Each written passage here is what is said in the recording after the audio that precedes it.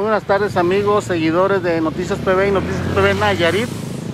Nos encontramos en la oficina de Telmex de Bucerías, en Bahía de Banderas, donde pues los empleados, eh, los trabajadores de esta empresa de Telmex, pues eh, se encuentran en estos momentos en huelga, se encuentran en manifestación. Eh, las oficinas están cerradas, las oficinas están cerradas en estos momentos debido a la huelga que mantienen a nivel nacional los trabajadores de Telmex aquí en Bucería, pues así se encuentra la oficina. En Puerto Vallarta también ya le llevaron la información.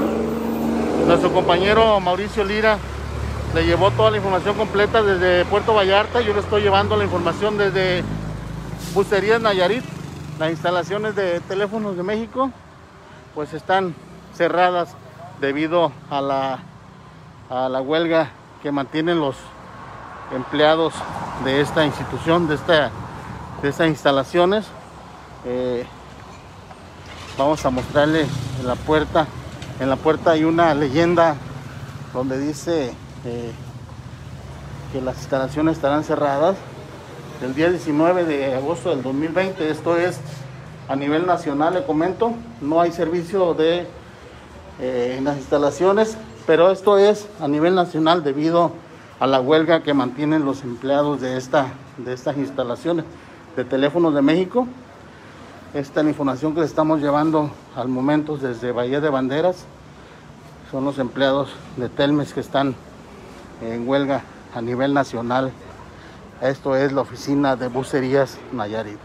Eh, usuarios, eh, pues está cerrada las oficinas y esto es lo que está pasando en estos momentos en bucerías. Muy buenas tardes.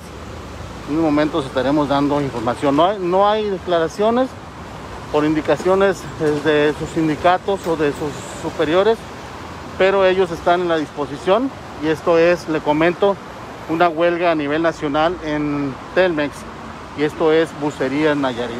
Muy buenas tardes, en unos momentos les llevaremos la información. No puede entrar ni el cajero, está totalmente cerrada las instalaciones, pero esto es debido a la huelga que mantienen los empleados de Telmex a nivel nacional. Puerto Vallarta y todos los lugares están cerrados, no hay servicio. Eh, ellos eh, no dan declaraciones, en Puerto Vallarta hay, hay, gente que da declaraciones, pero en estas instalaciones solamente se obtienen y están en huelga permanente hasta que se los indiquen.